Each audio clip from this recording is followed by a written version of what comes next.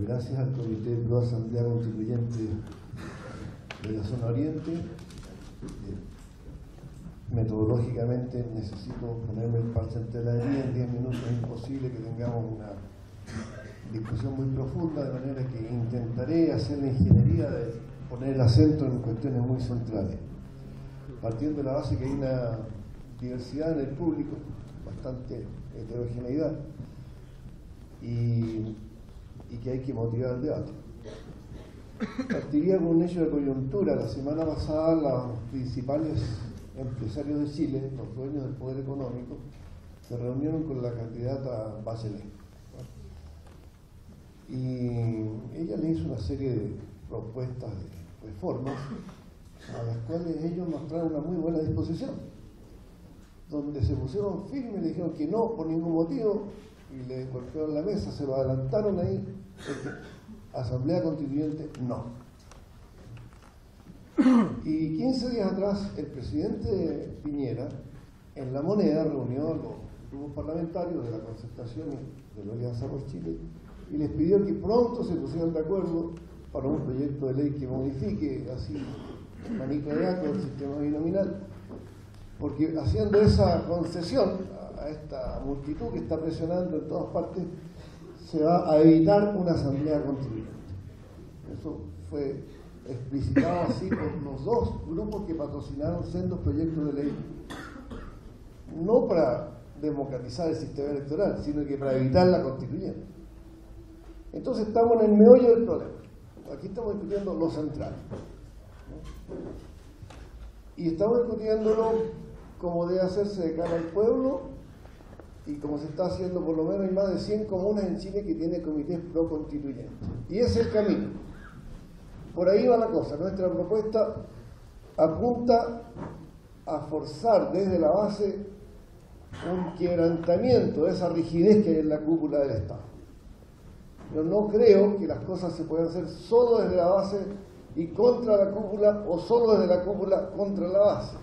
Hay que generar una retroalimentación. Y una retroalimentación ejemplar la acaba de mencionar Carlos acá, o sea, o sugerir, y lo voy a corregir un poquitito, fue cuando la Junta Militar de Navarrete y Altamirano, el tío de Carlos, derrocó a Arturo Alessandri después del ruido de sables, el año 1925, en, la, proclama de la Junta Militar, dice, nosotros nos venimos a quedar en el gobierno, estamos exigiendo una asamblea constituyente. Es una expresión de la cúpula. El ejército pidió asamblea constituyente ante el caos después de 30 años de república parlamentaria está, no necesito explicarle aquí lo que ocurrió entre 1920 y 1925, estaba la, Asamblea de Alimentación Obrera, está el Comité Militar Revolucionario, está el, movimiento de los intelectuales de la Universidad de Chile, eh, Eugenio González Rojas, Hernán Gómez Milla, Pablo Neruda, Manuel Rojas. Era un hervidero y eso quebrantó a una parte de la cúpula, la cúpula militar en este caso. Y luego la otra, cinco meses después, como los militares de derecha, el alto mando, no cumplió su propósito anunciado, el, eh, Ibáñez, Carlos Ibáñez del Campo y Malmaduque Grover dan otro golpe de Estado para traer de vuelta a Arturo Alessandro, bajo la condición de que haga asamblea constituyente. Es decir, hay posibilidades, y la historia de Chile está plagada de estos acontecimientos, en que una presión social genera un cambio en la, superestructura del Estado. Cuando Allende propone el proyecto de ley de nacionalización del cobre, a disculpar los demás jóvenes, yo soy de esa generación, de los locos que proponíamos nacionalizar el cobre, de los locos que proponíamos reformas agrarias y todas esas cosas terribles para la oligarquía, bueno, no tenía mayoría parlamentaria Salvador Allende. Tenía un buen aliado, que era Radomiro Topic, pero no tenía mayoría parlamentaria. Ahora se fue para la casa, renunció a la nacionalización del cobre o negoció el 1%, el 10% del cobre para Chile. No, sacó al pueblo a las calles, llamó al pueblo a luchar al debate y no hubo sindicatos, universidad donde no se debatiera la cuestión del cobre y finalmente cercó de tal manera a la oligarquía que la derecha tuvo que votar la unanimidad.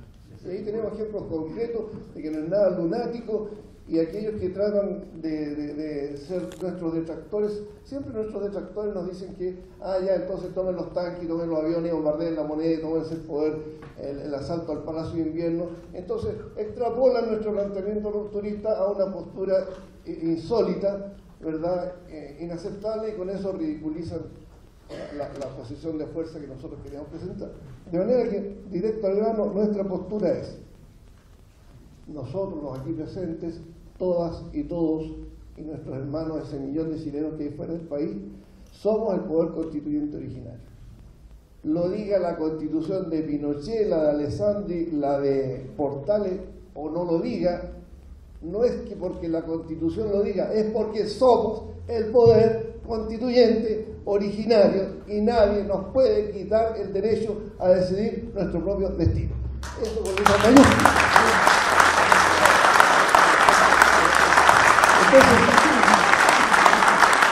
así como estamos, así como estamos no tenemos fuerza. ¿Cómo conseguimos la fuerza? Ya me quedan dos minutos.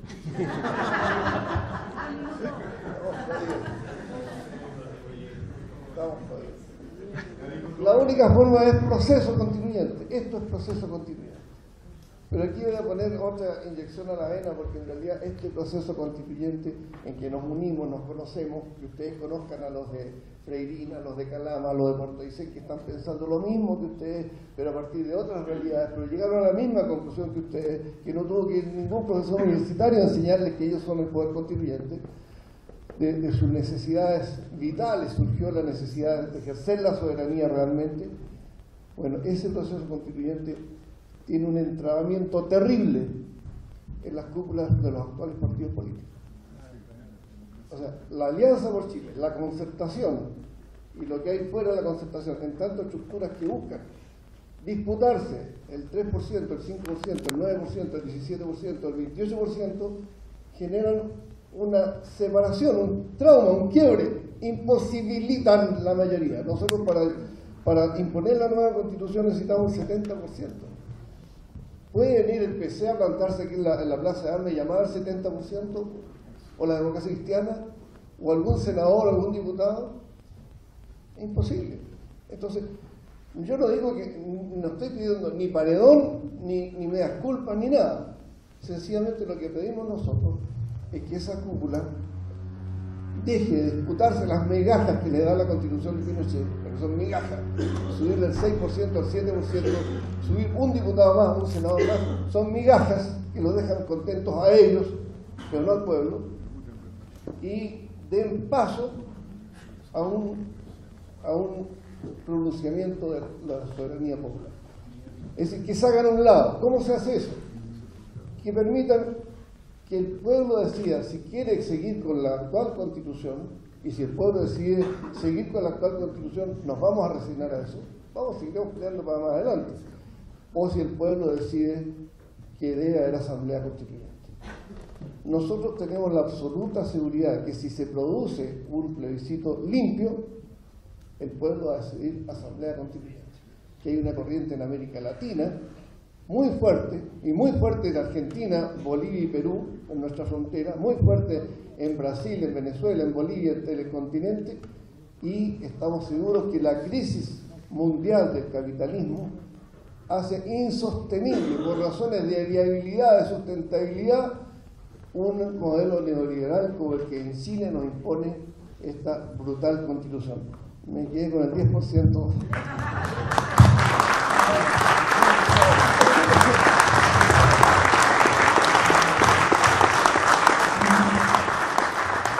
Mientras Merva que quieren la segregación de los mapuches y que quieren mantener la constitución eh, de Pinochet.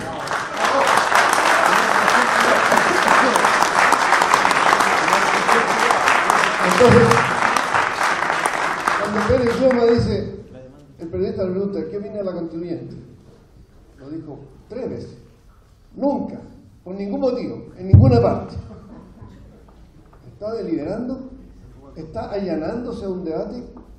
Ahora, es solo, es un hombre solo, Perellona, fue ministro de Defensa, ministro del Interior, por las puras.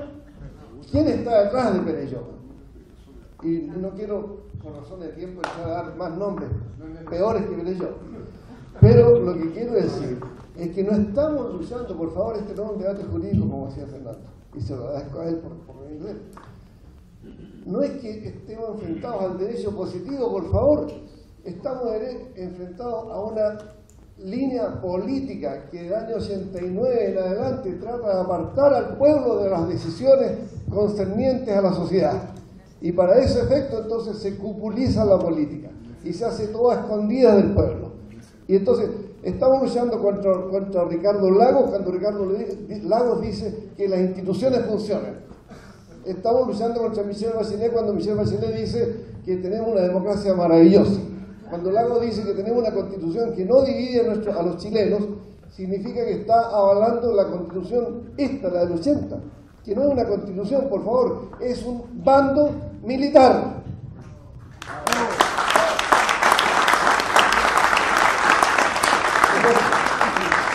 Estamos luchando contra el tratado minero chileno-argentino que firma Frey y Lagos. Estamos luchando contra el tratado de libre comercio con Estados Unidos que nos da la parte la angosta del embudo, del embudo a nosotros y la parte ancha del embudo de Estados Unidos. Estamos luchando contra un modelo económico, político, ideológico e institucional avalado por la cúpula de la concertación, o por lo menos por los sectores más decisivos de la concertación.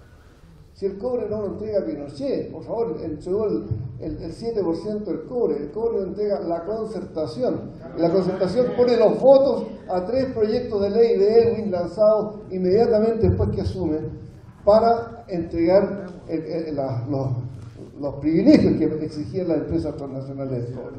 Y, aquí me llegó una pregunta, ¿qué pasó en julio del 89? Aquí yo voy a profundizar, lo, lo Carlos Minami, pero esto no es un detallito. Esto es la, médula del problema. En julio del 89, la constitución de Pinochet permitía el plebiscito y permitía el cambio en la constitución con más de un tercio en una Cámara y simple mayoría en la otra. ¿Qué es lo que hace la concertación? Esto lo estudió Felipe Portales, lo estoy citando a él prácticamente, no es autoría mía esta investigación. Lo que hace la concertación es suprimir el plebiscito. El plebiscito de julio del 89 se hace conforme a la constitución de Pinochet, y resulta que después de, esa, después de ese arreglo se, suben los quórum y después de julio del 89, con el voto favorable de la concertación y de la RN-UDI, esa constitución queda prácticamente inmodificable. Se puede modificar la, actual constitución de Pinochet, pero con cuatro séptimos en la Cámara y con cuatro séptimos en el Senado, o sea, el día de las calendas griegas. Por lo tanto, no va a haber el 17 de noviembre ni cambio en la constitución, ni asamblea constituyente, porque Bachelet, Matei, Israel, el, eh, Parisi, le cerraron la, cortina de la constitución a, una nueva constitución eh, emanada del pueblo. Por lo tanto, tenemos una lucha a largo plazo. No es el 17 de noviembre que está todo en juego. ¿Podemos presionar con el marca tu voto? Sí, podemos presionar. En marzo del año 2008 fuimos el movimiento por la Asamblea Constituyente, no otro Fernando, eh, me refiero a Carreras, el Francisco, el movimiento por la Asamblea Constituyente habló con Juan Ignacio García en marzo del 2008. Y Juan Ignacio García nos dice, ya un estudio elaborado por Enrique Silva Cima, Eric Palma, el juez Guzmán, eh, Nelson Ávila. Bueno, teníamos un estudio duro, profundo, de los resquicios que ofrece la ley del, servicio electoral. ¿Y qué nos dice Juan Ignacio García? Dice, ustedes tienen la razón, ¿no? pero yo no lo puedo decir en público. Pero ¿cómo no lo va a decir en público si nosotros tenemos la razón? Es legal marcar el voto. Bueno, afortunadamente este señor, que ahora ya no es el, jefe del CERVEL, fue sucedido por un militar, por el señor Cheira. Y el señor Cheira, acostumbrado a dar órdenes, interrogaba a un periodista cuando le dicen, ¿se puede marcar el voto? Él dice, no, es nulo. Claro, durante 30 años él decía cualquier cosa y todo le obedecían. Pero ahora sus subalternos le dijeron, mire, señor general metió las patas. Y el señor general tuvo que en conferencia de prensa decir, el voto marcado es válido, es válido ante la ley. Y es más, el presidente de la mesa o el vocal de mesa que pretenda anular un voto marcado por ¿no? Pero han mejorado a partir de una lucha que lleva siete años, ¿no? Nosotros marcamos el voto en la elección de, concejales anterior, la de, la de, eh, la de presidente del, del 2009, en la segunda vuelta marcamos el voto y ahora en la última parlamentaria. Ahora hay mejores condiciones para contar el voto. ¿Qué va a pasar si hay un millón de votos o dos millones de votos marcados? Vamos a avanzar un poquitito. Vamos no, se van a poner a llorar los poderes fácticos y nos van a conceder con una asamblea constituyente, por favor. Evo Morales tenía el 67% de los votos a favor y tenía el golpe de Estado hecho. Si no interviene Brasil, lo derroca. O sea, los votos no son el poder. El 17 de noviembre no está en juego el poder. Lo que nosotros tenemos que hacer es un proceso de acumulación de fuerzas para revertir una conciencia conservadora que inoculó la derecha pinochetista y la derecha concentracionista durante 23 años y que ha sido la peor traba para la situación del pueblo chileno. Nosotros no nos olvidemos, no nos olvidemos que detrás de Luxig, de Angelini, detrás del Mercurio, de los poderes fácticos, hay un poder gigantesco que está ausente en este debate y no podemos dejarla fuera. El gobierno de los Estados Unidos. Estamos en esta parte del mundo, no estamos en África ni en Asia. Y el gobierno de los Estados Unidos está siguiendo este debate y todos los debates e influye y decide. El gobierno de Estados Unidos financió la campaña del no del año 88, porque Pinochet era el peor obstáculo y derrocó a Gabriel Valdés, que era presidente del Partido Demócrata Cristiano, para impedir que pudiera ser presidente e instaló mediante procedimientos mafiosos a Patricio Erwin como presidente de la democracia cristiana y después como presidente de la República. ¿Por qué? Porque necesitaba el cobre, porque Pinochet no, se lo, no le entregaba el cobre, Erwin sí se lo entregó. Entonces, lo que tenemos aquí de por medio, lo que tenemos de por medio es que tenemos que sumar fuerzas, marcando el voto, haciendo todo tipo de esfuerzos, pero por favor tenemos que llegar a un momento en que los tanques, los aviones, los submarinos, los fusiles, los servicios de seguridad nos den la pasada. Estamos hablando de gente adulta. ¿Alguien cree que el ejército está mirando para el techo o que nos está grabando esta reunión? Por favor, no es imposible que ello ocurra. En Venezuela, en, Ecuador, en Bolivia ocurrió, pero ocurrió por una presión de masa gigantesca. Entonces, tiene que llegar el momento en que el Estado Mayor de la Defensa Nacional diga, es mejor para nuestros intereses institucionales que prevalezca el, designio de la Asamblea Constituyente, porque ahí están todos los chilenos y nadie va a poder después negar esa constitución, antes que demos un nuevo golpe de Estado con otro Pinochet, con otro Estado sirio, con otro terrorismo de Estado, con más desaparecidos, bla, bla, bla. Ese momento va a llegar cuando este proceso constituyente madure. Yo creo que todavía no está maduro. Creo que la minoría de los candidatos presidenciales está por marcar el voto. La mayoría de los candidatos presidenciales y de lo que previsiblemente va a ocurrir no va a marcar el voto. Arrate se opuso a marcar el voto del año 2009. Nosotros se lo fuimos ver. Sí, termino, ya. Termino.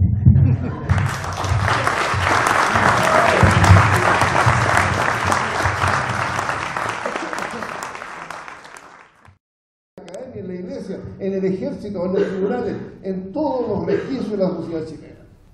Y esto no, da lo mismo, Francisco, decirlo ayer que, hace 6 o 7 años o que hace 20 años. Claro, si Camilo Enríquez también lo dijo, está en la Aurora de Chile, Bernardo Higgins también lo dijeron. El tema es que hay que decirlo con, con fuerza, porque si usted no lo dice con fuerza, después le dicen, sí, claro, sí, claro, no te preocupes, nosotros después te regalamos una nueva constitución. Aquí todavía hay 19 senadores, la mayoría de la concertación que han suscrito en enero del 2012 un proyecto de ley propuesto por Camilo Escalona y Girardi y Andrés Saldívar que dice que el actual Parlamento redacta una nueva constitución y el Congreso Pleno lo sanciona. Y nosotros los aquí presentes quedamos marcando ocupados. El proyecto de ley está ahí, en cualquier momento ese proyecto de ley lo reviven. Yo no estoy peleando con molino de viento. Esto es real, es la alternativa que tienen para impedir que crezca el movimiento por la constituyente, van a ofrecerle un paliativo, una aspirina. Y por eso es que nosotros aquí nos ha surgido, qué bueno, la discrepancia fundamental de esta reunión. Y no, me alegra, pero la constato. Aquí hay una diferencia muy importante. Porque si estamos hablando de la institucionalidad, y la institucionalidad permite un plebiscito en que se le pregunta al pueblo si quiere una nueva constitución, la derecha puede apoyar ese plebiscito y se puede ganar la idea de una nueva constitución. Terminó el plebiscito a las 12 de la noche, listo, se aprobó la nueva constitución. Y el Estado de Derecho, la institucionalidad, va a vehiculizar ese acuerdo. Y para vehiculizar ese acuerdo no se va a llamar a otro plebiscito, va a regir la actual, el actual Parlamento y en el actual Parlamento se va a decidir cómo se hace la nueva constitución y eso es trampa, eso es absolutamente ajeno a lo que hemos propuesto. Nosotros hemos propuesto que sea el pueblo el que decida y por eso que no, le he destinado ni un minuto, lamentablemente, no tenemos ya más tiempo, a, pensar, a, definir qué podría decir la nueva constitución. Yo lo único que le digo en nombre del movimiento por la Asamblea Constituyente, que lo que la nueva constitución tiene que decir es que el pueblo decida, que el pueblo mande, que el pueblo es soberano.